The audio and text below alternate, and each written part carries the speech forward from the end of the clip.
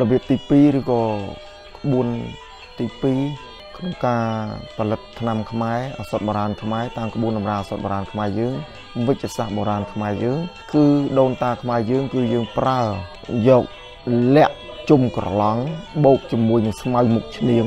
ដែលតំបន់ខ្លះគេហៅថាតង្ហិតឈ្នៀងសម្បកស្វាយចន្ទីឆ្កែស្រែងមើមថ្នាំចិនហាលឲ្យស្ងួតលៃឲ្យស្មើគ្នាយកទៅដាំទឹកផឹកបកកែណាស់